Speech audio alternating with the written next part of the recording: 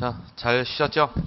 예, 지목 볼게요, 이번엔. 지목의 경우도 시험에 거의 매회 나오니까 지목도 정리 좀 잘 하시길 바랍니다. 지목이란 정의가 토지의 주된 용도에 따라서 토지의 종류를 구분하여 등록한 명칭이 지목인데 지목 용도별로 총 28개로 세분을 하게 됩니다. 지목을 왜 세분하느냐? 밑에 기능은 토지라는 자원은 유한 자원, 무한 자원. 유한이죠. 증가하지 않으니까. 유한 자원인 토지를 최대한 효율적으로 이용하자라는 원칙을 통해 지목을 정하게 된 것이고 또 지목을 정해놓게 되면 과세 기준에 활용이 됩니다.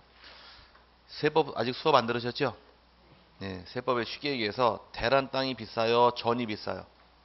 대, 그 대란 땅은 세율이 고율일 것이고 전답이나 과수원 같은 경우는 토지 가격이 싸니까 세율이 저율 낮게 갑니다. 그럼 지목에 따라서 이제 이렇게 세율을 달리 정하는 것도 하나의 기능이 된다 이렇게 이해하시면 될 것 같고요. 분류는 밑에 1번 용도 지목이란 말 나오는데 지목 용도별로 지목을 정한다 이 뜻이고 단식이란 얘기는 지목은 1필지 하나가 부여가 됩니다. 하나의 필지 지목 하나가 부여한다 단식 지목이고 하나의 필지 지목이 두 개 이상 부여가 될 때를 복식이라 말 쓰는데 우리나라는 1필지 1지목이니까 단식 지목을 채택을 합니다. 그래서 밑에 설정 원칙이 밑에 4개 나와 있고 다음 페이지에 하나, 다섯 개가 나와 있죠. 요 기준을 통해 제목을 정하는 것이 방법인데 여기 제목 정도만 이해하시면 돼요. 첫 번째가 1필 1목의 원칙. 하나의 필지의 지목은 하나만 부여한다. 이 원칙이 바로 1필 1목입니다. 1필지 1지목을 줄여서 1필 1목이라고 부르고 두 번째가 주지목 추정의 원칙은 하나의 토지 안에 둘 이상 용도가 있을 때에는 주된 용도 따라 지목을 정하는 것이 주지목 추정의 원칙입니다. 옆에다 땡땡 쳐두시고 써두실 말이 양입지. 뭐라고요? 양입지. 아까 아파트 안의 도로는 도로로 본다 대로 편입시켜 버리더라.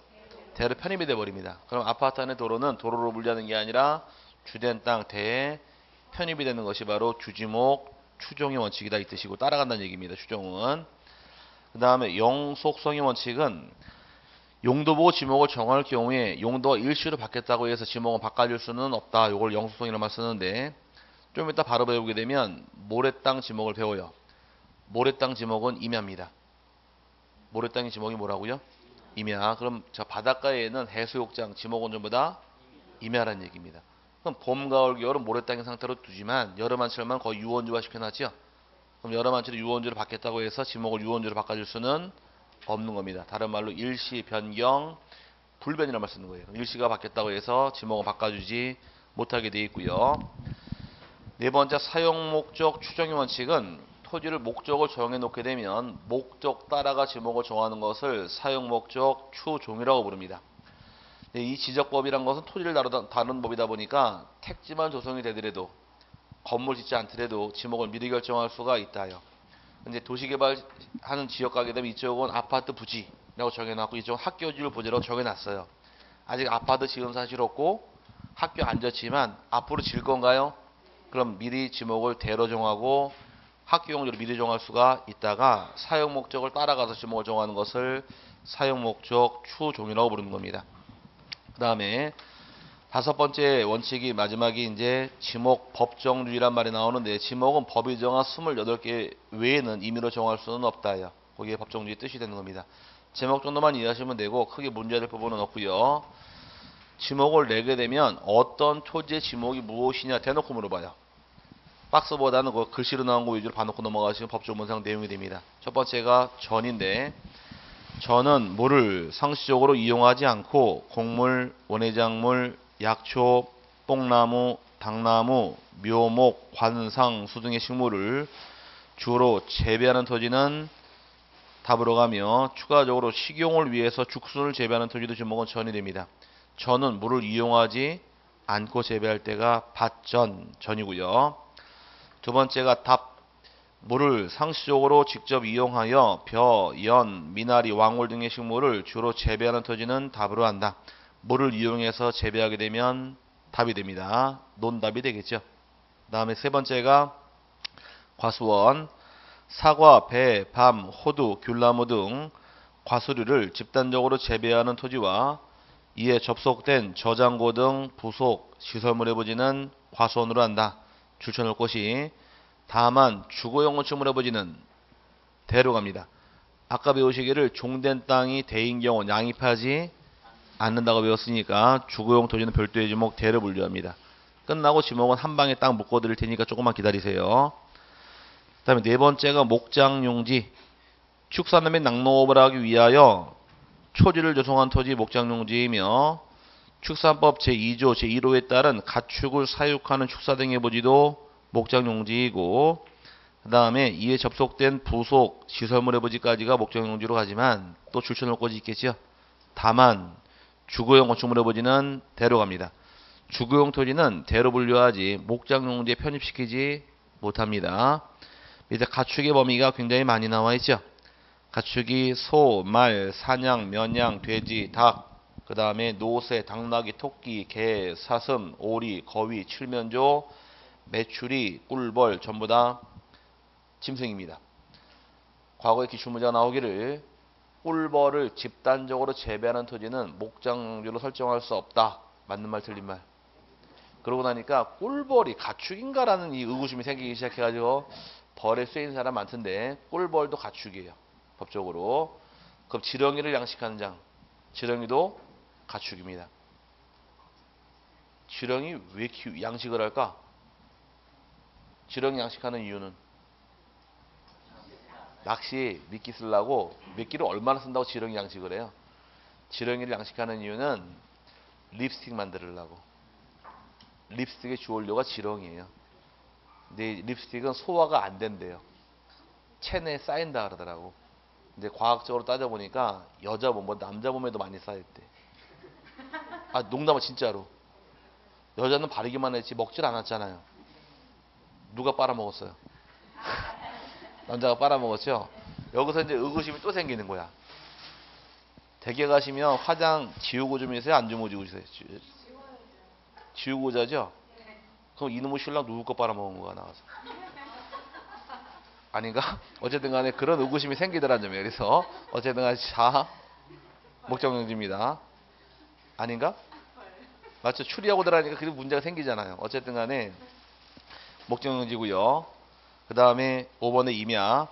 산림의 논하를 이루고 있는 수림지, 중림지, 암석지, 자갈땅, 모래땅, 습지, 황모지 등의 토지는 임야로 한다 해서 임야는 가능한 한 암기하시면 편한데 임야는 앞을 따면 어려워지니까 뒤를 따세요. 임야는 지, 지, 지, 땅, 땅, 지, 지가 임야예요. 임야가 뭐라고요? 뒤에 지나 땅이 붙으면 임야란 얘기입니다. 수림지, 나무 우거진 땅 임야고 중림지, 대나무 우거진 땅 임야고 암석지 돌로 되어 있죠? 임야. 그럼 우리 우리 땅 동쪽에 있는 게 뭔가요? 독도.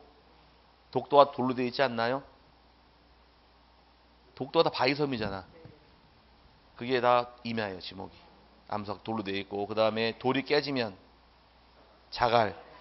자갈이 깨지면 모래 모래 땅도 임야다 보니까 해수욕장에 있는 백사장 지목이 전부 다 임야가 되는 겁니다.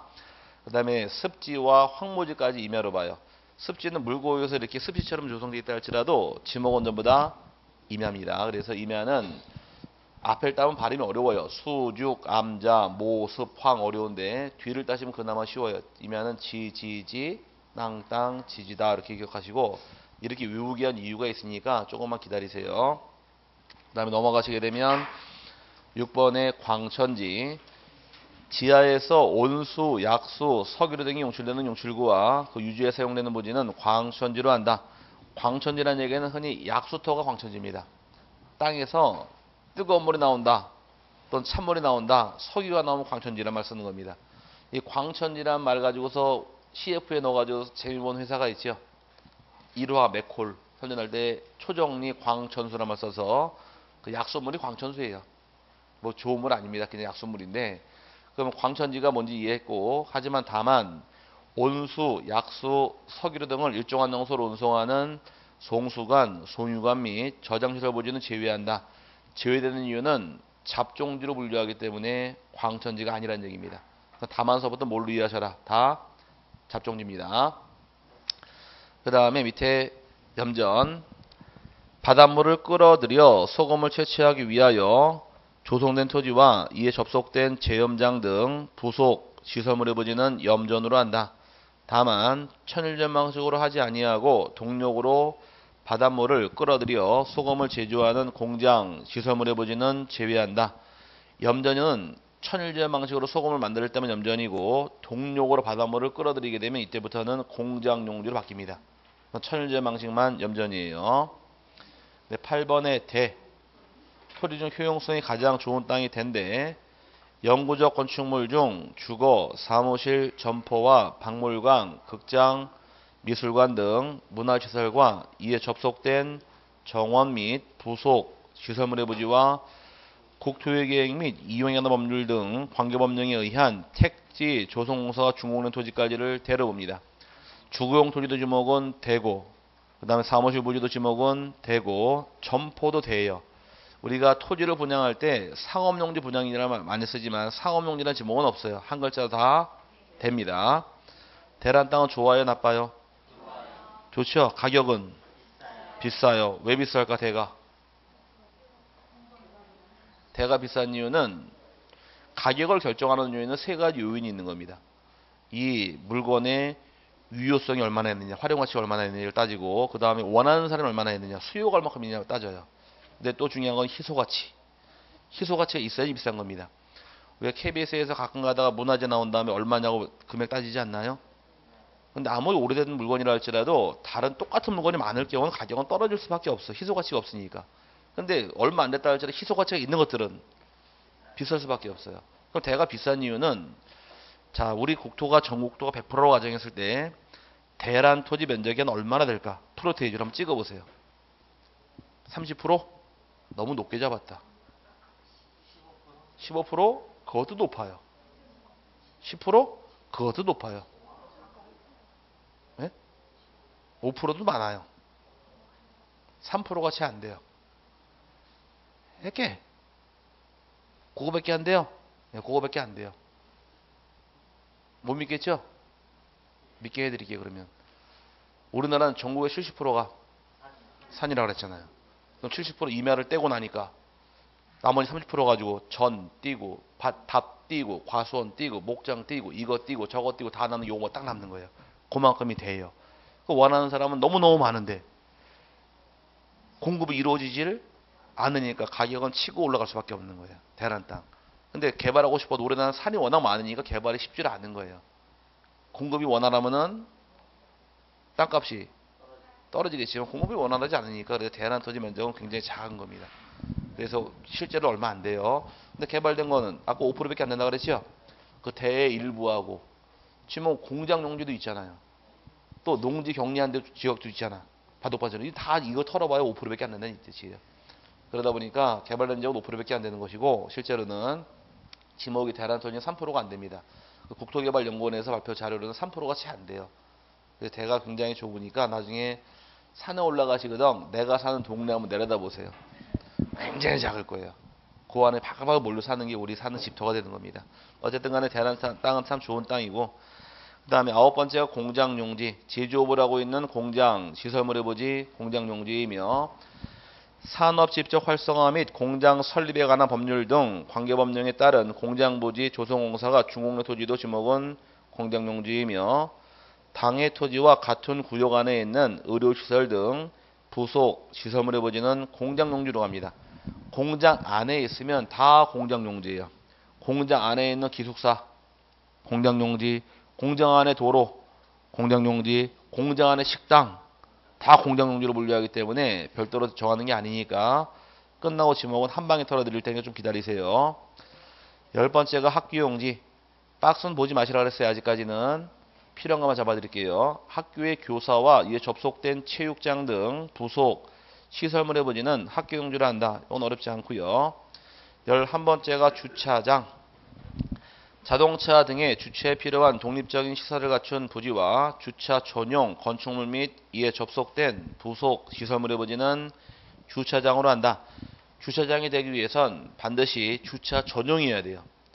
다른 목적에 기한 것들은 주차장이 될 수는 없습니다. 전용일 때만 주차장이 되는데 그러다 보니까 다른 목적에 기한 것들은 다 제외시키므로 다만 노상 주차장 및 부설 주차장과 그 다음에 자동차 등의 판매 목적으로 설치된 물류장 및 야외전 시장은 제외한다. 주차장이 아니란 얘기입니다. 따져보자고요. 우리 학원 뒷골목 보니까 도로 옆에다 하얀 선 그린 주차장이 있습니다. 노상 주차장. 지목은 전부 다 도로예요. 도로고 아파트 안에 부설 주차장 있나요? 그건 지목은 다 대지 주차장이 아니란 얘기예요. 오케이? 그럼 부설 주차장 주차장에서 제외가 되는데 괄호 안에 보니까 주차장법 제19조 제4항 규정에 의하여 시설물 부지 인근에 설치된 부설 주차장은 또 제외시킨대요. 그럼 이 말이 뭔 말이냐? 주차장에서 부설 주차장이 제외가 됐는데 여기에 또 제외란 얘기는 제외 제외는 부정의 부정이니까 긍정이 되면서 부지 인근에 있는 건 지목이 주차장입니다. 이게 뭔 말이냐? 그림으로 이, 저 이해시켜 드릴게요. 자, 이렇게 도로가 있다고 가정을 하고 필지가 두 필지가 있는데 여기 지목은 5번 토지 대, 6번 토지 대가 있더라. 두 필지가 있는데 건물을 이렇게 상가 건물을 짓고서 이 대지 안에다가 주차장 만드는 경우 있죠? 이게 소위 말하는 부설 주차장입니다. 지목은 전부 다 대지 주차장이 아니란 얘기예요. 이해 갔어요? 그럼 부설 주차장 주차장은 제외가 됐는데 문제는 다녀보시니까 백화점 웨딩홀 같은 데 가게 되면 건물이 이렇게 자리 잡고 있고 길 건너 맞은편에 고객 전용 주차장이 따로 떨어진 거 이런 거 보신 적 있어요?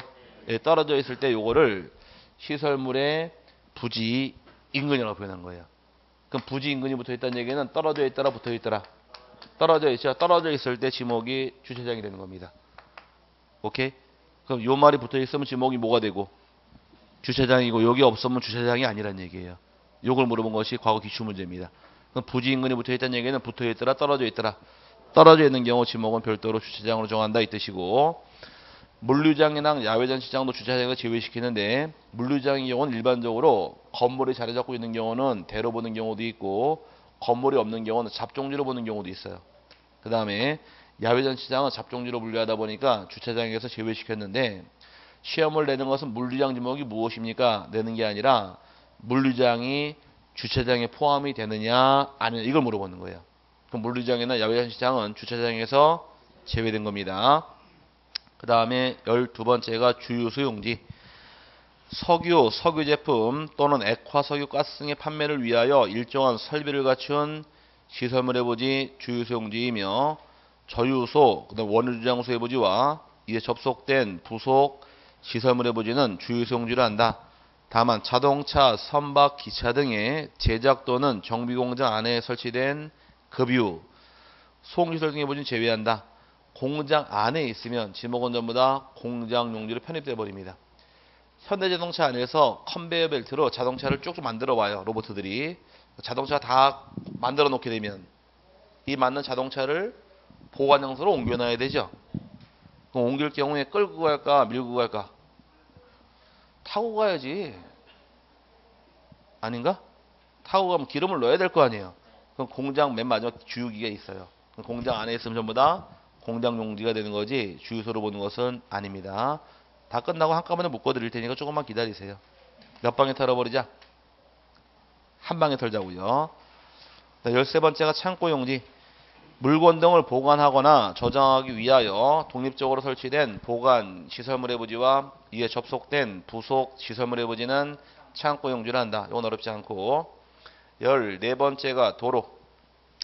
다음의 토지는 도로로 한다. 다만 아파트, 공장 등 단일 용도의 일정한 단지 안에 설치된 통로 등은 제외한다요. 그럼 아파트 안에 도로는 지목이 뭐다? 대. 공장 안에 도로는 공장 용지로 편입돼 버리니까 별도로 도로로 보지 않고 도로는 네 가지가 도로입니다.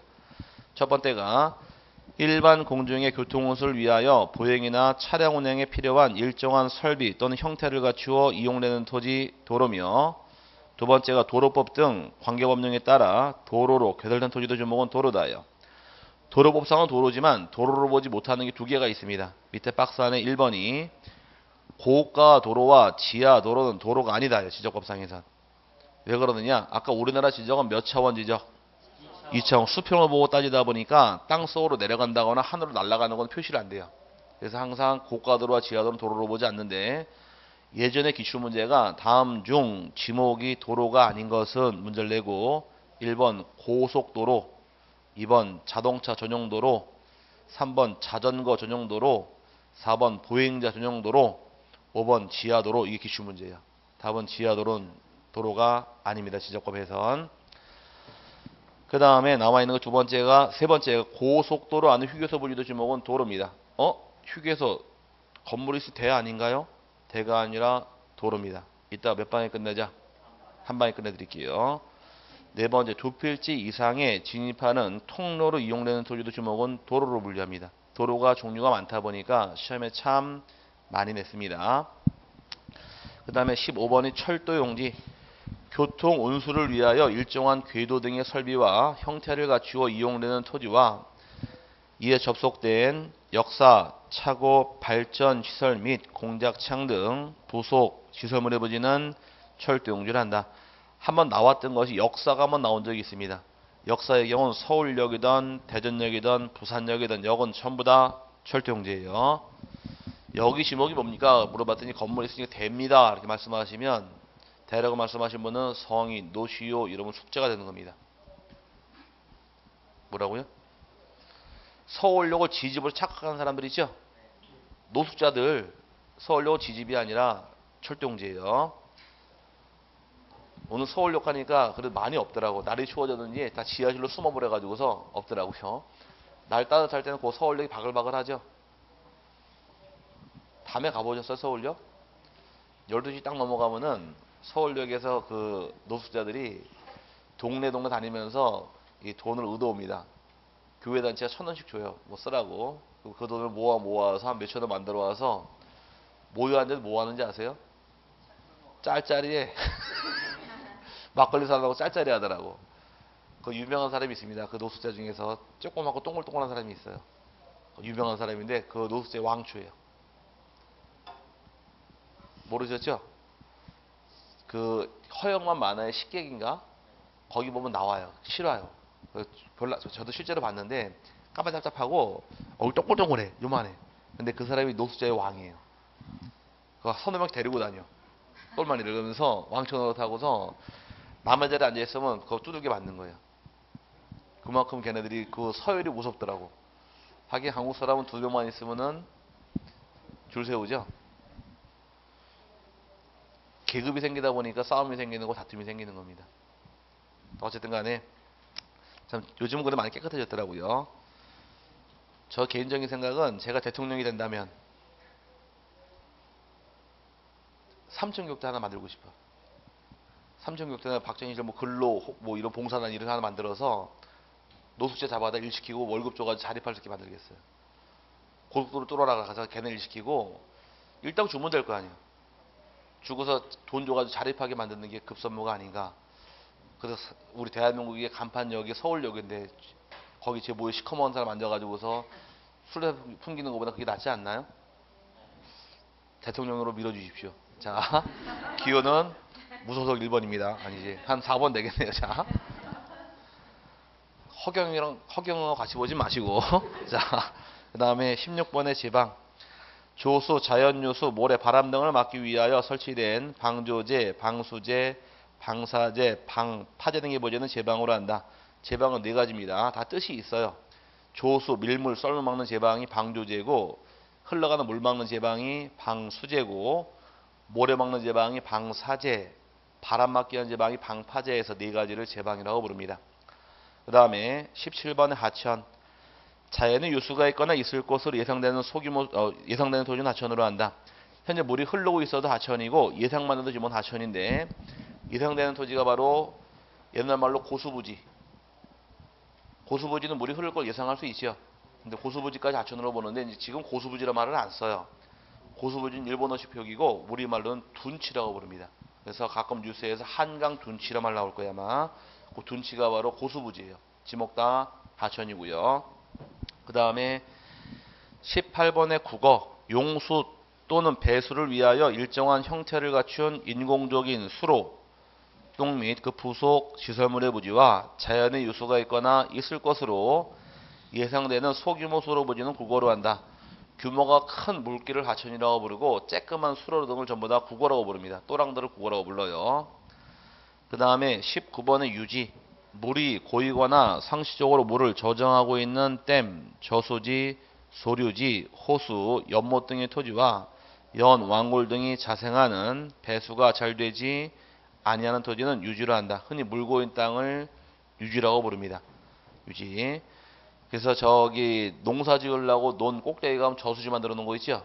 그 저수지가 전부 다 지목 유지예요. 그 다음에 20번의 양어장, 육상에 인공으로 조성된 수산생물의 번식 또는 양식을 위한 시설을 갖춘 부지와 이에 접속된 부속 시설물의 부지는 양어장으로 한다.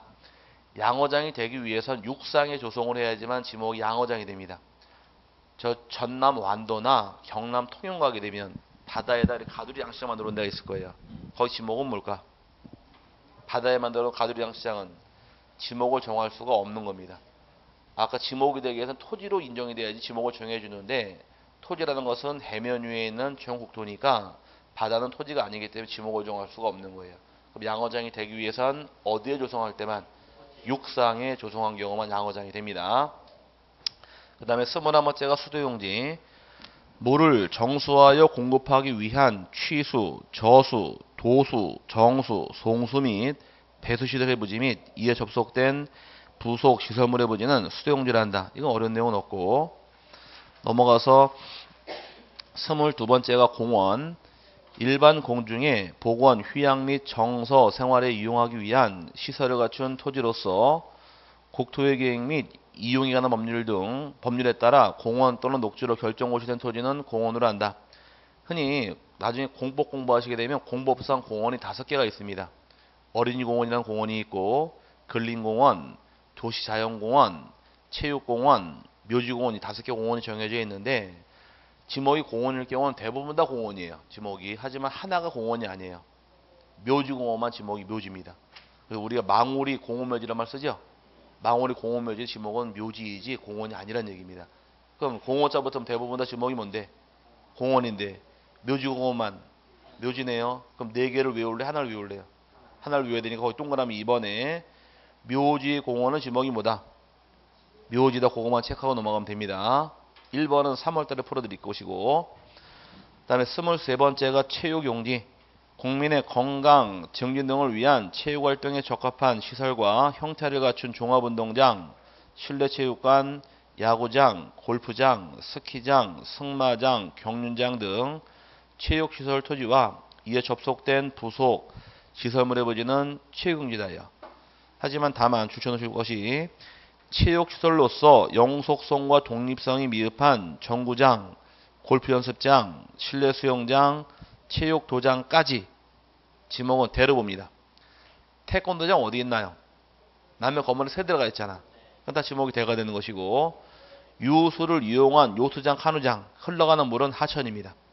하천이고 산림하나 야영장은 산속에 있는 건 다 임야예요. 다시 불러드릴까요? 싫어요.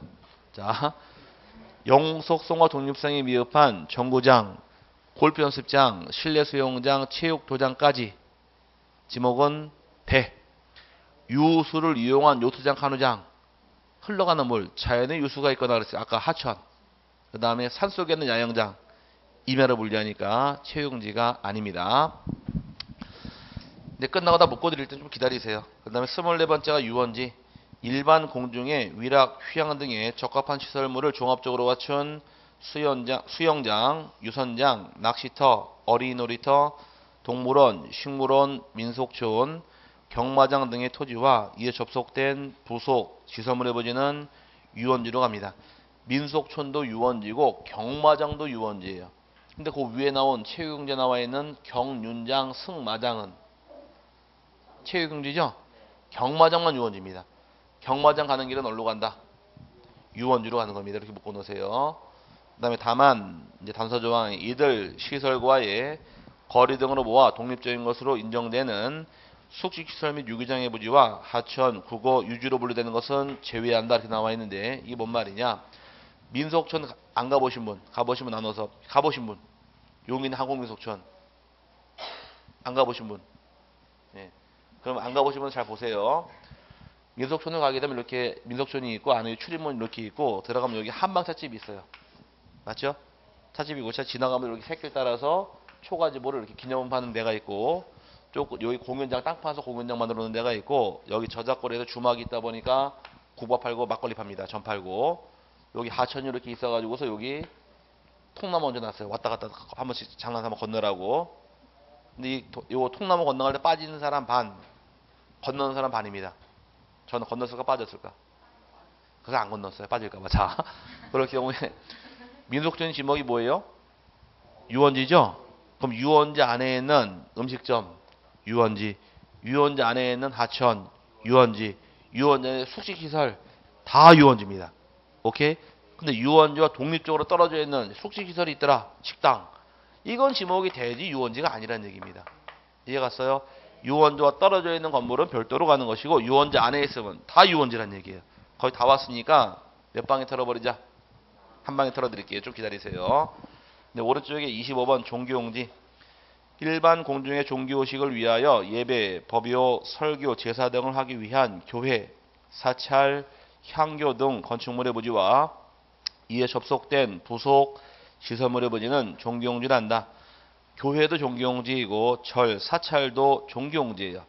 절은 오래된 절이라고 사적지가 아니라 전부 다 종교용지입니다. 경주의 불국사, 그 다음에 합천의 해인사, 양산 통도사, 고창의 선운사 다 천년고찰이죠. 다 지목은 종교용지입니다. 우리나라 절이 가장 큰 절이 어떤 게 있을까요? 제가 가본 절로 가장 큰 절은 지금 터만 남아 있어요. 저 경기도 양주에 가면은 회암사라는 터, 저거 절이 있었는데 그 회암사 터만 있는데 그 절에는 3천 명의 스님이 기거를 했대요. 많죠? 예, 3천 명의 스님이 기거할 만큼 그 넓은 절이 있었는데 우리나라 거기 불타고 소실돼서 지금 안 남아 있는데 그 고려 시대까지는 우리나라가 국, 국교로서 불교를 숭배했지만 조선 시대가 들어서면서 조선 초기까지는 이어져서 불교 숭상을 했어요.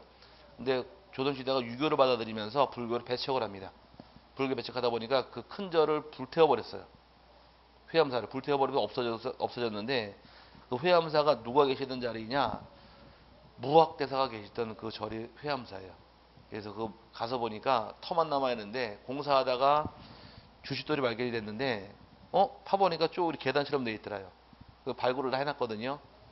절이 건물이 한 수십 개가 있는 거예요. 축구장 절이 갈아요. 크기가 어마어마해. 그래서 한번 집에서 한 20분 걸리서 한번 가보니까 굉장히 넓더라고요. 그래서 그 위에 조그만 절이 하나 있긴 있는데 가서 보니 거기 다 있더라고. 무학대사가 기구하던 절이고 여기서 덕을 쌓고 뭐 이렇게 해서 해탈한 데 이렇게 나오는데 어 이런 절이 있구나. 그래서 그 알게 됐는데 어쨌든 굉장히 큰데 그 설로는 말이 설이니까 조선 초에 모 왕후께서 불교를 배척하려고서 불 질렀다라는 설이 나오더라고.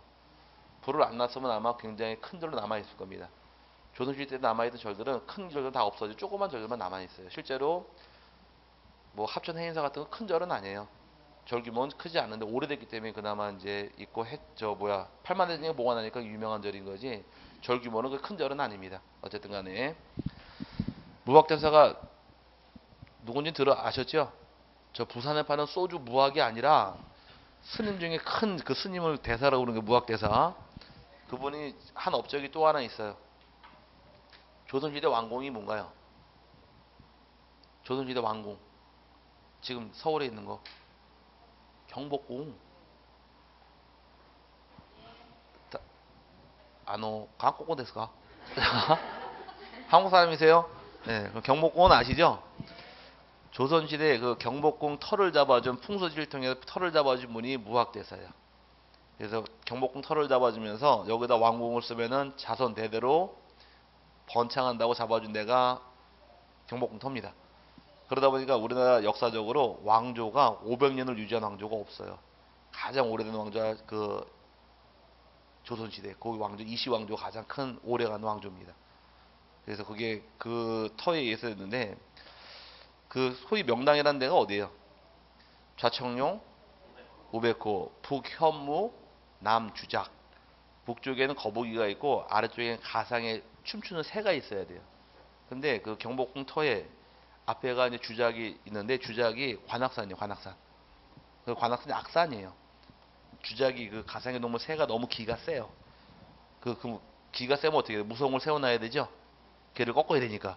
그래서 경복궁 앞에 세워놓은 게 해태예요. 해태를 세움으로써 가상의 그 무서운 동물을 세움으로써 그 개를 꺾으려고.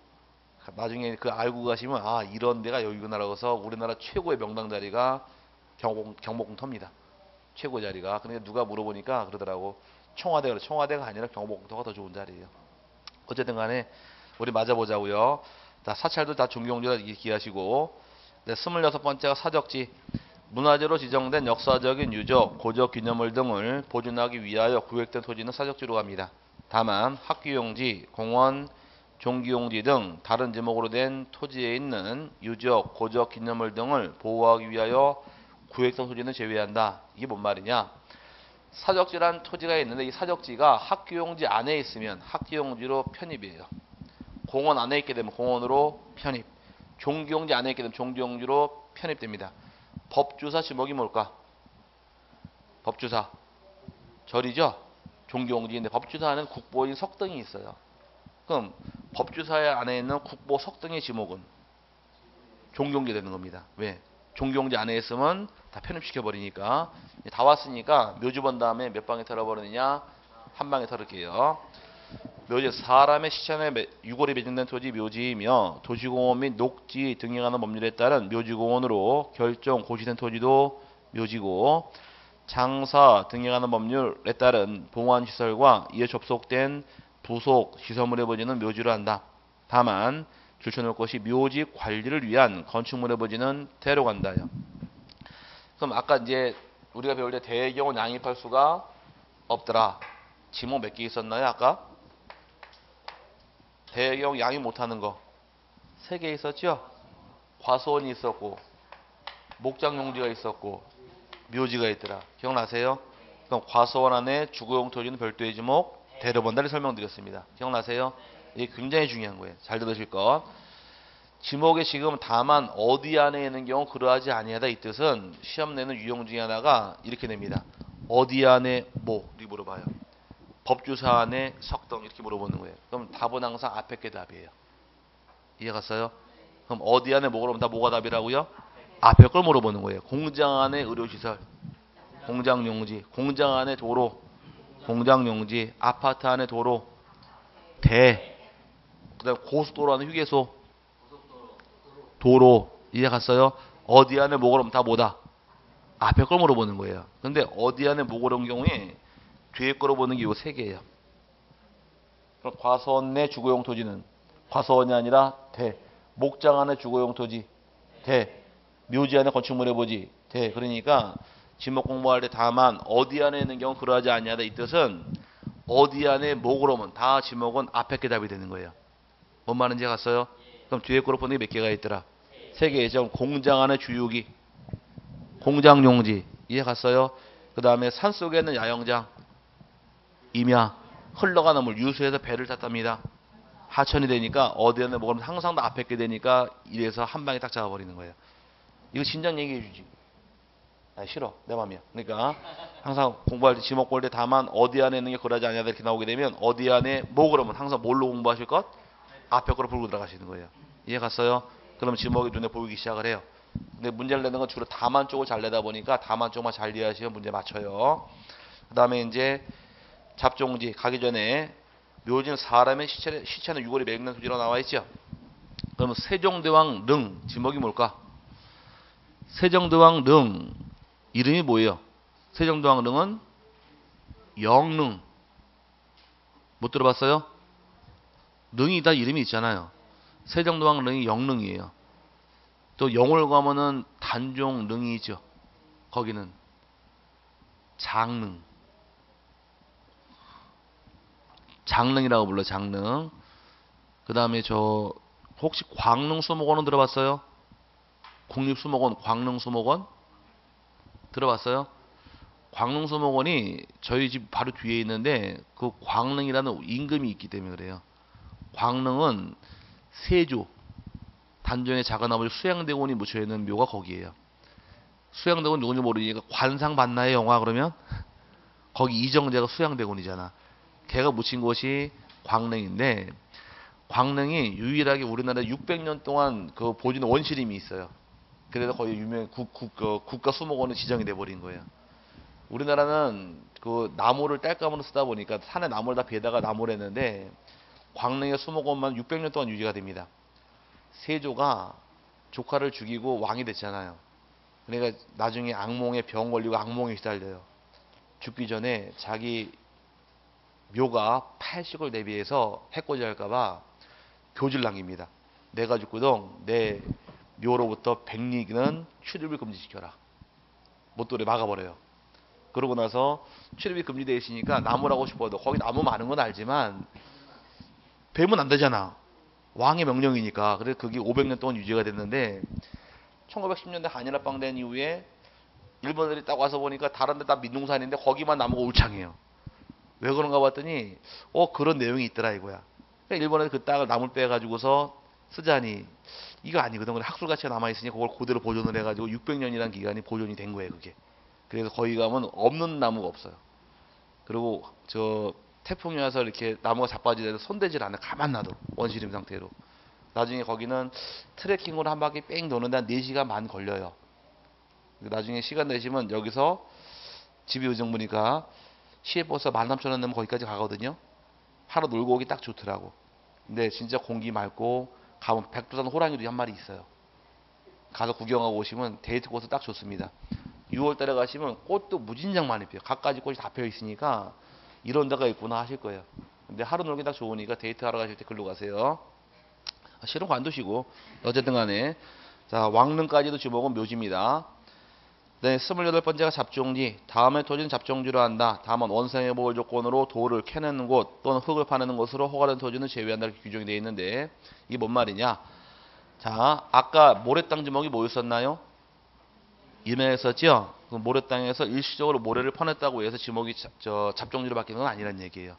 그 모래땅에서 일시로 모래 퍼내도 계속 지목은 임야인 거지 잡종지 될 수는 없다 이 뜻인데 잡종지의 경우 넘어가시면 세 가지가 나옵니다. 박스 안에 1, 2, 3 남아 있나요? 그게 잡종제예요. 잡종제의 경우는 가기 전에 아까 이면 어떻게 외우실 것? 이면은 지, 지, 지, 땅, 땅, 지, 지 이렇게 외우시라 그랬어요. 종류가 수림지, 중림지, 암석지, 자갈땅, 모래땅, 습지, 황무지까지 임야라고 설명을 드렸는데 잡종지랑 임야랑 굉장히 부딪혀요. 헷갈리는데 천만 다행스러운 것이 가만히 들여다 보니까 잡종지 안에는 진화 땅이란 말이 없어요. 그래서 구별하시라고 이면 어떻게 외우셔라. 지, 지, 지, 땅, 땅, 지, 지라고 외운 거야. 잡종지 보니까 갈대밭 있어요? 잡종지 안에 갈대밭 있죠? 실에 물건을 쌓아두는 곳, 돌을 캐내는 곳, 흙을 파내는 곳, 야외시장, 비행장, 공동우물, 연구적 건축물 중 변전소, 송신소, 수신소, 송유시설, 도축장, 자동차 운전학원, 쓰레기 및 오물, 처리장 등의 부지와 또 중요한 말 다른 지목에 속하지 않는 땅은 잡종지다요. 그럼 가만히 놓고 보니 지는 땅이란 말이 없죠. 여기다가 황무지 쏙 섞어 놓게 되면 눈에 안 보여요. 그러니까 임야는 뭘로 끝나고 진화 땅으로 끝나고 잡종지는 진화 땅이란 말이 없다. 구별하시라는 얘기예요. 이해 갔어요? 그 다음에 또 시험에 잘 나는 유형 중에 하나가 책에 없는 걸 줍니다. 법에 없는 토지를 주면서 이 땅 지목이 무엇이냐 이렇게 물어봐요. 그럼 안병원 나오시면은 맨 마지막에 뭐라고 써있는지 다른 지목에 속하지 않은 땅 잡종이라고 나와 있죠? 그럼 잡종을 찍으셔야 돼요. 그게 답이 됩니다. 과거에 기출 문제가 거기 박스에 있겠지만 콩나물을 재배하는 땅의 지목이 뭐냐 물어봤어요. 콩나물을 재배하는 땅 어디서 나왔던가요? 안 나왔죠? 답은 잡종지가 되는 겁니다. 분뇨종말 처리장 어서 안 나왔죠? 잡종지 위험물 이동탱커 시설 부지 잡종지 농어촌 휴양지역 내 어디 나온 데가 없으니까 다 잡종지란 얘기예요. 근데 콩나물 공장 콩나물 공장 틀린 사람 되게 많았어요. 콩나물 재배하는 것 지목이 뭐라고요? 잡종지인데 1번 잡종지 집어넣고 2번 보기에다가 공장 용지 심어 놓으니까 그 잡종지 찍고 넘어가면 맞을 것을 콩나물 공장? 말이 되죠? 공장용을 찍어 틀린 사람 되게 많으니까 안 배운 거 나오면 뭘 찍으셔라. 잡종을 찍으셔야 됩니다. 지목은 한 두 번 들으면 알게 되니까 외우지 마세요. 아시면 되고 지목이 표기 방법인데 지목은 어디 나오느냐? 지목이 나오는 장부는 네 개 장부에 나옵니다. 토지 대장하고 임야 대장의 지목이 나오고 그 다음에 지적도하고 임야도의 지목을 등록을 하게 되는데 토지 대장, 임야 대장에 기재하는 지목은 정식 명칭을 적어야 돼요. 정식 명칭의 뜻은 지목이 과수원의 경우는 과수원을 다 적어야 됩니다. 약칭이 안 돼요. 다 적어야 되고 반대로 지적도 임야도에는 정식 명칭이 아니라 부호 한 글자만 기재합니다. 한 글자만 적게 되어 있는데 원칙은 머리 글자가 원칙이어서 두 문자 주의를 채택을 해요. 머리 글자를 따라는 얘기는 과수원의 경우는 한 글자만 땁니다. 뭐를 딸까? 과를 따겠죠? 이렇게 등록하는 것이 방법이에요. 근데 머리 글자가 똑같다거나 비슷하게 되면 피해가야 되니까 예외적으로 두 문자가 아니라 차 문자를 따는 경우가 네 가지가 있다 보니 여기 문제가 되는데 하천의 경우는 하를 안 따고 천을 땁니다.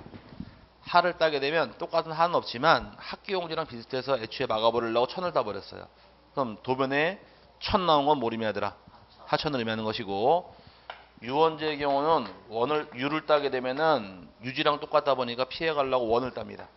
그다음에 공장용지의 경우는 공을 따게 되면 공원하고 똑같다 보니까 장을 따야 돼요. 그다음에 주차장의 경우는 주를 따게 되면 주유소 용지랑 똑같다 보니까 여기는 차를 땁니다. 요 네 가지를 제외한 나머지는 전부 다 머리 글자예요. 그럼 네 가지를 외우실래요? 24개를 외우실래요? 이게 낫겠죠. 요 네 개만 두 번째 걸 따- 따게 됩니다. 이것도 시험에 낼까요?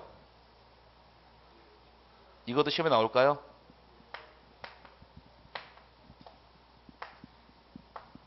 여기서 한번 네번 나왔어요. 최근에. 이건 서비스 문제예요. 어떻게 나온 적이 있느냐? 지목이 공장 용지의 경우 지적도에는 공으로 표시한다 이렇게 나와요. 공이 아니라 장이죠. 그럼 요거를 뺀 나머지 전부 다 머리 글자입니다. 잡종지는 뭐를 딸까? 잡종지는 잡을 땁니다. 묘지는 묘를 따야 돼요. 광천지는 광을 따게 됩니다. 목장 용지는 과감하게 목을 따야 돼요. 그래서 왜 틀렸어요? 맞죠? 목장 용지 뭐를 따야 돼요? 목을 따야죠. 그래서 다 따는 게 있으니까 그렇게 이해하고 넘어, 이 얘기만 겪고 넘어가면 됩니다. 그 다음에 면접까지만 오늘 강의를 마칠게요. 수업은 한 1시 반까지 한다고 생각하고 오셔야 돼요. 빨리 끝내고 싶죠? 나도 그러고 싶어. 근데 진도가 있다 보니까 우리가 매주 본다 그러면 그만해도 되는데 격주로 만나다 보면 조금씩 더 해야 됩니다. 면적이란 저희가 지적 공부에 등록된 필지의 수평 면상 넓이를 말한다 나오는데 아까 2차원 지적을 실시하다 보니까 면적은 지적 공부에 등록하는 수평 면적을 면적이라고 부릅니다. 그 면적은 필지의 수평 면상의 넓이를 면적이라고 부르는데 면적이 나오는 장부는 토지 대장하고 임야 대장의 면적을 등록하는 것이 등록 방법이에요. 여기만 나옵니다. 아까 지목은 어디 나온다고 떠들었어요? 지목은 4개 나오죠? 나중에 다음 시간 이걸 배워야 돼요. 다음 시간 제가 왔을 때는 지목에 나오는 장부 어디입니까? 이 물어봐요 이제. 이걸 물어보는 게 다음 시간 배울 내용이에요. 그럼 면적은 어디 나옵니까? 토지하고 임야대장만 이렇게 다 다르기 때문에 이걸 또 물어봐요 시험 문제에서. 그래서 지목 그리고 여러분 교재에서 면적은 가로 안에 뭐라고 써 있더라? 토지대장, 임야대장만 나온다 이렇게 나와 있는 것이고 면적 단위 잠깐 놔두시고요. 대상부터 볼게요. 아 대상에서 단위는 조금 놔두시고 면적 대상 바로 위에 나와 있죠? 동그라미 2번. 3.3058제곱미터 써 있나요? 가로 안에 평 곱하기 121분의 400 나와 있죠? 근데 그거 설명드릴게요. 그 1번은 바로 따라 나오니까 따로 보실 필요 없고 자, 이 면적은 과거에 평이라는 말을 쓰다가 75년도부터 제곱미터로 바뀌기 시작을 했는데 한 평 곱하기 121분의 400 곱하는 겁니다. 바꿀 때는 그럴 경우에 나오는 것이 반올림에서 3.3058제곱미터 한 평의 넓이에요. 한 평이라고 칭하는 것은 제곱미터로 따지게 되면 3.3058이 한 평의 넓이로 보는데 반올림한 겁니다. 쉬는 시간에 이제 수업 끝나시고 400 나누기 120이라 하게 되면 3.3058이 아니라 3.3057 851 239 6694 반올림한 게 58이 돼 버리는 거예요. 그럼 만약에 제곱미터를 바꾼다 가정하게 되면 30평이 있더라. 30평을 제곱미터로 바꿀 경우는 곱하기 400부터 먼저 하는 겁니다. 그럼 30 곱하기 400 하니까 12,000 됐죠? 나누기 120이라면 정확하게 떨어지는 거예요. 이해 갔어요? 이렇게 해서 바꾸는 거지 얘를 곱하는 거지 이거 곱하는 거 아니에요. 얘를 곱하면 반올림한 값이 되어 토지 커져요. 그러니까 121분에 400 곱하신다 이렇게 기억하시는데 왜 121분 400이 나왔는가는 관계자 설명 못 드리니까 궁금하시면 찾아오세요. 알려드릴게. 이따 알려드릴까? 수업 끝나고 여담으로 네, 이따 끝나고 알려드릴게요. 그러면 시험에 안 나오기 때문에 강의 안 하고 넘어가는 거예요.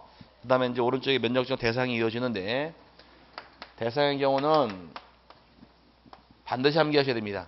근데 암기하게 해드리니까 염려하지 마시고 그냥 중요한 것만 체크만 넣으시면 돼요. 이 대상에서 한 10대 문제 나왔는데 먼저 지적 공부를 복구하는 경우 면적을 측정하게 돼 있고 신규 등록도 대상이고 등록 전환도 대상이며 분할하는 경우도 면적을 측정을 해야 됩니다.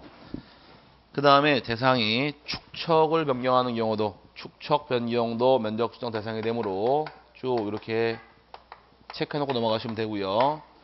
등록된 면적 또는 경계를 정정하는 경우도 면적 측정을 다시 해야 하고 도시개발 사업 등 사업을 실시한 경우도 지적 확정 측량 실시하면서 면적 측정을 실시할 것이며 측량 중에서 주의할 것이 경계, 복원, 측량이 있고 그 다음에 또 하나가 지적, 현황 측량이라는 것이 있더라. 이 두 가지의 경우는 원칙은 면적을 측정하지 않는 게 원칙입니다. 면적 측정하지 않지만 예외적으로 이 두 개 측량과 더불어서 면적 측정을 수반하는 경우란 말이 붙은 경우만 측정하는 것이 예외 규정이에요. 그래서 밑에 박스에서 측정 대상인 게 있고 아닌 게 있죠.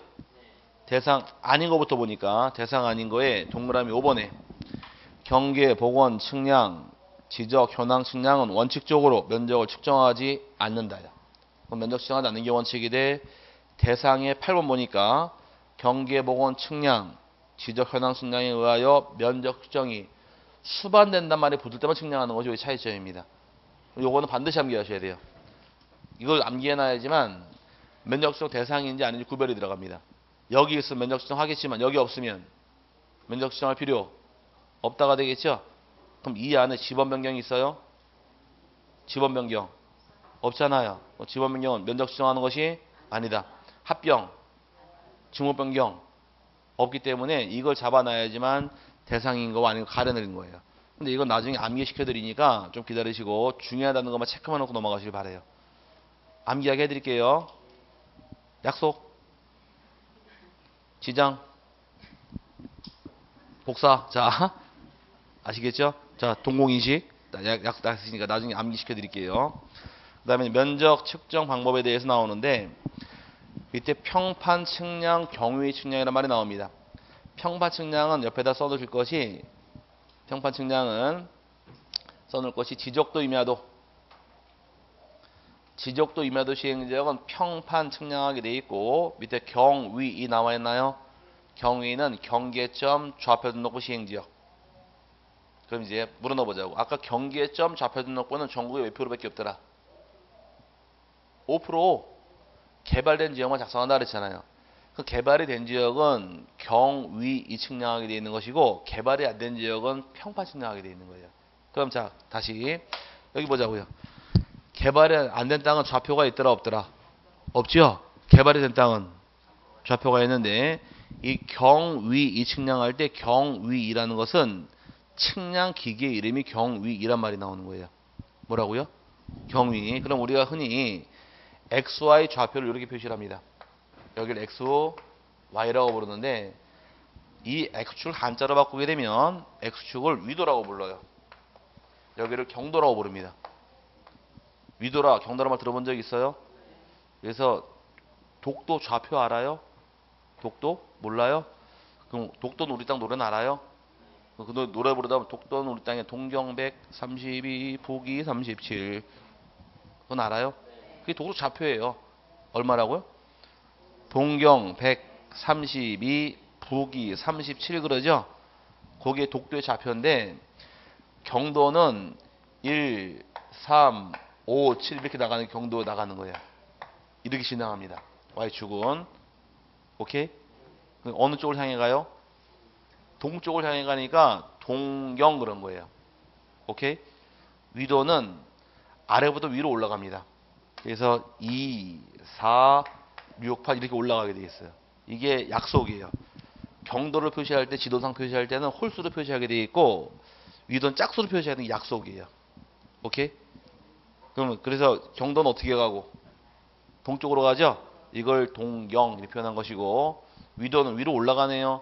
이걸 북위라 말 쓴 거예요. 오케이? 이걸 기준으로 만든 게 바로 뭐다? 우리나라 도면 번호. 아, 도로 번호. 도로 번호가 이렇게 해서 여기가 이렇게 호미고 쪽이 있고 이렇게 해서 여기 남, 남한이 있죠? 국도가 다 번호가 있어요. 국도 판문점에서 목포 내려가는 도로가 1번 도로. 그 다음에 의정부에서 연천서부터 시작해서 남원 내려가는 도로가 3번 도로. 그 다음에 춘천서부터 대구 내려가는 도로가 5번 도로. 그 동해안 해안 도로가 7번 도로. 이렇게 번호, 번호가 다 있는 겁니다. 그래서 1357로 국도를 번호 부여했고, 그럼 2번 도로는 위로 올라가야 되니까 2번 남해안에 밑에 여기 2번 도로. 대전 쪽에 아마 4번 도로 있을 거야, 아마. 요 근방에. 대전 쪽에 4번 도로 있을 것이고, 서울에서 주문진, 강릉 넘어가는 도로가 6번 도로. 이렇게 도로 번호 정한 것이 차이점이에요. 이걸 응용해 만든 게 도로 번호입니다. 다녀보시다가, 다녀보시다가 도로 번호가 홀수 번호가 있어요. 이, 녹, 이 군정색 색 바탕에다가 군정색 바탕에 들어간 국도름이 하는데 그게 홀수 번호일 경우는 남북을 연결시키는 도로예요. 근데 도로 번호가 짝수일 경우는 동서가 연결된 도로입니다. 그럼 서울에서 부산 가는 건 남북이죠?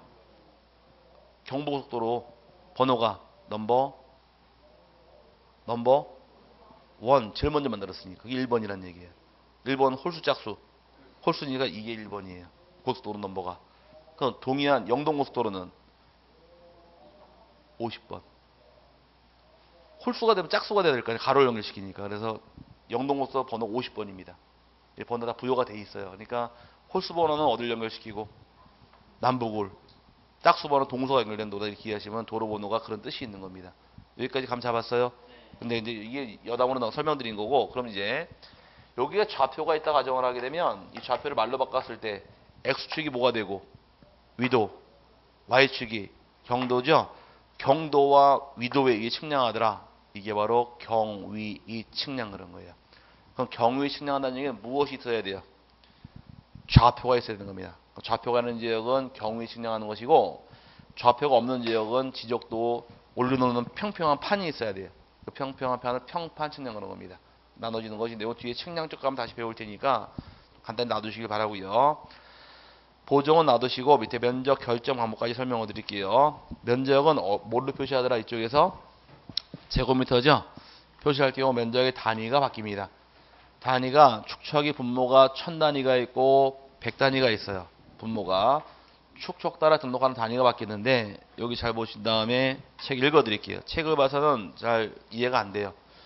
면적을 등록할 때 축척 따라서 축척이 분모가 천 단위가 있고 분모가 백 단위 축척이 있게 됩니다. 천 단위 축척일 경우는 종류가 천분의 일이 있고 다 분의 1 생략이에요. 1200분의 1이 있고 그 다음에 2400분의 1, 3000분의 1, 6000분의 1까지를 축적 분모가 천단이고 100단위 축척의 경우는 경계점, 좌표, 등록부 시행 지역하고 600분의 1 지역을 나누는데 이 경계점, 좌표, 등록부가 축척이 원칙이 500분의 1이 됩니다. 그럼 여기 분모가 100단위고 여기 분모가 1000단위죠. 1000단위가 많아요? 100단위가 많아요? 1000단위가 많죠? 항상 많은 게 원칙이에요. 그럼 적은 게 예외입니다. 그럼 원칙을 다른 말, 다른 말로 바꾸면 기준이란 말 쓰는 것이에요. 그럼 기준을 숫자로 바꾸면 또 뭐가 될까? 혹시 앞에 계신 분 군대 갔다 왔어요? 자, 현역? 군대 갔다 왔어요? 현역? 진짜로? 테스트 해보면 알겠네. 자, 군대에서 조교가 훈련소에서 연명장에 모아놓고서 기준을 그랬어요. 뭐라 그래야 돼? 방위 같은데 아무래도 이거 기준 팔을 들고 기준 해야지. 기준 해야지 뭐 그냥 말로만 웃으면서 기준 그래? 한번 하- 해보겠다는 거지. 자 다시 기준. 오케이 봤죠? 뒤로 번호. 거기까지만. 자 지금 기준이라고 질문이 뭐라 그랬어요? 하나라 그랬죠? 이제 헷갈리면 안 되니까. 원칙이자 얘가 기준이라고 그랬습니다. 기준일 경우 천 단위는 등록하는 면적이 1의 자리까지 1제곱미터 등록하는 단위 면적이에요. 근데 100 단위는 여기는 1제곱미터가 아니라 0.1제곱미터 등록한 단위 면적이 되는 것이 차이점이에요.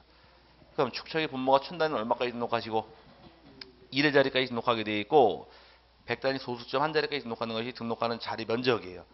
그럼 이 1제곱미터, 0.1제곱미터는 축척 따라 등록하는 최소 면적입니다. 뭐라고요? 최소 면적. 이 최소 면적의 뜻은 천단의 축척에서 측량하라는 열과 1 미만이 나온 경우는 무조건 1이에요. 그럼 면적이 만약에 0.1서부터 1이 나왔더라. 무조건 1입니다. 0.2가 나와도 1, 0.3이 나와도 1, 1이 나와도 1, 2가 나오면 그 2로 가는 거예요. 그럼 1 미만은 무조건 얼마로 간다? 1로 간다. 근데 100 단위는 최소 면적이 얼마래요? 0.1이죠? 그럼 0.1일 경우는 0.01서부터 0.1까지 나온 건 무조건 다 0.1로 갑니다. 요거 헷갈리면 다 틀려버리니까 이거 강조하려고 원칙이 천단이고 원칙을 다른 말로 바꾸면 뭐가 되더라? 기준이 된다. 기준을 숫자로 바꾸면 1을 이렇게 잡아놓고 헷갈리지 마시라는 얘기입니다. 그러면 여기는 얼마까지 구하실 것? 1의 자리까지. 여기는 소수점 한 자리까지 구하라는 얘기 면적 구할 때. 이해 갔어요? 그 면적을 측정했더니만은 본다면 설명 책 읽어드릴게요. 그래 들어야 알아 이 말은. 하나의 필지 면적을 정했더니만은 면적이 13 제곱미터가 나왔대요. 그럼 1까지 결정했죠? 손댈 필요가 없고 여기는 얼마까지 구하래요? 소수점 한 자리니까 만약에 13.5가 나오게 되면 소수점 한 자리 결정했나요? 다 면적 끝났어요. 이렇게만 나와주면 좋은데 문제는 뒤에 하나씩 달고 들어온 경우 이렇게 나오게 되면 등록을 이렇게 못하게 돼 있어요. 여기는 얼마까지 등록해야 돼요? 1의 자리죠? 여기까지 잘라서 뒤에 보던 이 숫자를 올리거나 버리거나 결정을 해주는 겁니다. 여기는 얼마까지 결정해야 돼요? 소수점 한 자리죠? 여기까지 잘라서 뒤에 보던 이 숫자를 올리거나 버리거나 결정하다가 이게 탄수 처리예요. 근데 여기 오시기 전까지는 뭘 처리했느냐? 4, 4, 5, 2 들어봤어요? 4m는 버리고 5 이상은 올렸죠? 반올림 버림할 때 그거는 바깥에서 얘기고 법은 4, 4, 5입을 안 써요. 법은 5, 4, 5입법을 써요. 뭐라고요? 5, 4, 5입법을 쓰다 보니까 그건 들어야 하니까 먼저 보자는 얘기예요. 뭘 쓴다고요? 5, 4, 5입법. 그럼 5, 4, 5입법의 뜻은 자, 여기 보자고 이제 1까지 결정해야 되죠? 그럼 뒤에 보통 0.5가 달라붙어 있네요. 그럼 0.5를 기준으로 0.5를 초과하는 경우도 있고 0.5 미만도 있더라요. 초과하는 경우는 과감하게 올리고 미만은 버립니다. 그럼 만약에 13.6이 나온 경우와 13.4가 나온 경우 어떻게 처리할 것이냐요. 항상 구할 자를 자르고 들어가셔야 돼. 난 얼마까지 구한대요? 1까지죠? 그럼 뒤에 붙은 0.5 초과 미만. 초과 니까 올라가서 14가 된다요. 밑에 거 13.4는 0.5 미만이죠? 미만일 경우는 과감하게 어떻게 하래요? 얘는 버리는 거예요. 버리면 얘가 13이 되겠네요. 여기까지 갔어요. 근데 문제는 초과는 미만이란 말은 0.5가 속하질 않아요. 그럼 0.5가 나온 경우 어떻게 할 것이냐 이게 문제란 얘기예요. 0.5가 나오게 되면 구하고자 하는 끝자리 숫자 끝수 요거 보고 찾아갑니다. 1의 자리 숫자 여기까지 구해야 되니까 요 숫자가 뭐가 나오느냐 못 찾아, 찾아가는 거예요. 저 끝자리 숫자가 홀수가 나온 경우도 있고 0이나 짝수가 나온 경우도 있더라요. 홀수가 나온 경우는 홀딱 올리고 0이나 짝은 쫙 버려야 돼요. 뭐라고요? 빨리 따라 하셔야 돼요. 홀딱 올리고 쫙 버린다. 그럼 이제 13.5가 나온 경우와 14.5가 나온 경우의 면적이 얼마냐 물어보게 되면 항상 구할 자를 자르셔야 돼. 그럼 1까지 결정하겠죠? 0.5 초과 미만. 초과예요, 미만이에요? 초과도 아니고 미만도 아니 딱 걸렸잖아 지금. 딱 걸린 경우 앞에 숫자가 홀이냐 짝이냐예요. 홀수일 경우는 올려서 14로 짝수일 경우는 버려서 14가 되는 거예요. 그 13.5하고 14.5는 먼저 같은 면적이 돼버려요. 이해 갔어요? 그럼 차이점이 사소이법이라는 것은 자 4m로 버리고 5부터 올리면 4, 4, 5, 2 반올림 버리면 얘기인데 5, 4, 5법은 4m를 버리는 건 똑같고 6부터 올리는 거예요. 5가 딱 나온 경우는 앞에 숫자가 홀이냐 짝이냐 홀 쓰면은 올리고 짝은 버린다. 그럼 뭐만 이해하시면 되는 거예요. 쉽게 얘기해서 5보다 크면 올리고 5보다 작으면 내리면 챙피해 또 올릴 수 있으니까 버려버려야 돼. 버리고 5가 딱 나온 경우는 앞에 숫자가 홀이냐 짝이냐 이것만 따져가면 되는 거예요. 들을만 했어요? 이제 요걸 읽어보자고 이제. 그래서 읽어야 알합니다. 원칙적으로 토지대장, 임야대장에 등록하는 토지의 면적은 제곱미터 단위까지 한다. 제곱미터 1까지 한다는 얘기입니다. 1까지 가는데 문제는 이번에 토지 면적이 1 제곱미터 미만의 끝수가 있는 경우 0.5 제곱미터 미만일 때는 어떻게 해야 돼요? 버리고 한0.5 제곱미터를 초과할 때에는 올립니다. 0.5 제곱미터 일 때에는 구하려는 끝자리 숫자가 0 또는 짝수이면 쫙 버리고 홀수일 때는 홀딱 올린다 하여 이해 갔어요? 최소 면적이 얼마? 천 단위는 1제곱미터죠? 그러니까 마지막에 1필지 면적이 1 제곱미터 미만일 때에는 무조건 1로 간다 해요. 한번 잡았죠? 네, 100단위는 똑같은 거니까 같이 볼게요. 자, 100단위의 경우는 여기는 얼마까지 결정해야 돼요? 0.1을 제곱미터 한 자리까지 결정합니다. 그럼 여기는 0.0을 보고 판단을 하는 거예요. 똑같아요. 그럼 0.05를 기준으로 0.05를 초과하면 올린다 해요. 미만의 경우는 버리면 되겠네요. 그럼 만약에 13.56이 나온 경우와 13.54가 나온 경우 얼마입니까? 결정해라요. 그럼 항상 구할 자리를 자르시라 그랬어요. 난 얼마까지 구하더라? 소수점 한 자리죠? 그럼 0.05 초과 미만.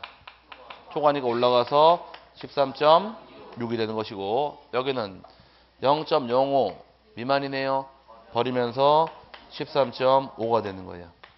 오케이? 그럼 0.05 속하지 않네요. 그럼 0.05 나온 경우 어떻게 할 것이냐도 문제인데 똑같아요. 0.05 나오게 되면 구하고자 하는 끝자리 숫자 요거 보고 결정해놔요. 요 숫자가 뭐가 나왔느냐 홀수가 나올 수 있고 0이나 짝이 나올 수도 있더라. 홀수가 나온 경우는 올리고 0이나 짝은 버리겠죠. 기출문자 나오기를 330.55의 경우는 얼마입니까? 이게 실제 문제입니다. 그 다음에 730.4가 나온 경우에 4, 5가 나온 경우 얼마입니까? 이 둘 다 실제 문제예요. 기출 문제. 이런 문제를 주게 되면 항상 구할 자리를 자르고 들어가셔야 돼. 난 얼마까지 구한다? 0.1까지 구하더라. 오케이? 그럼 0.05 둘 다 초과인가요? 미만인가요? 초과도 아니고 미만도 아니죠? 앞에 숫자가 홀이냐 짝이냐요. 여기 홀수네요. 올라가서 330.6 여기는 짝수니까 버려서 730.4 이게 답이에요. 기출 문제입니다. 여기까지 가려고 하면 이거는 한 번 들으면 아 두 번만 들으면 누가 다 알아요. 오서의 법원은 5를 기준으로 5보다 크면 올리고 5보다 작으면 버린다. 5일 때에는 앞에 숫자가 홀이냐 짝이냐 이해 갔어요? 이건 누구나 두 번 들으면 다 아는데 어디 가서 날아가느냐 이게 첫 단추예요. 이게 바뀌어버리면 다 날아가 버리니까 축처 천 단위가 많더라 백 단위가 많더라 천 단위가 많으니까 얘가 원칙 원칙을 다른 말로 바꾸면 기준이 된다. 기준을 숫자로 바꾸면 1이 된다. 이렇게 잡아놓으면 안 헷갈리는 얘기예요. 잡아놓고 들어가시면서 이 응용하시면 떨어질 부분이니까 이렇게 가시면 되고 요것도 올해 문제 냈습니다. 25회 때 잘 나와요. 면적은 저기서부터 조이까지 문제를 꼭 줘요. 한 문제를. 나온다고 알려드린 부분 틀리면은 대책이 없어요. 오늘 제가 강조한 데가 지번 반드시 냅니다. 지목 반드시 내요. 면적 반드시 내요. 됐어요? 이래도 나온다고 알려드리는 부분을 안 하면은 재수는 필수란 말이 나오는 거예요. 자 어쨌든 간에 여기까지 보시고 밑에 토지 이용에 따른 면적 결정 방법은 여기는 3월 달에 봐드릴게요. 여기까지 보도록 하고요. 경계부터는 다음 주에 보도록 하겠습니다. 1시 반 됐으니 여기서 수업을 마치도록 하죠. 처음 듣다 보니까 어렵죠? 어려울 수밖에 없어요. 처음 듣고 다 한다 그러면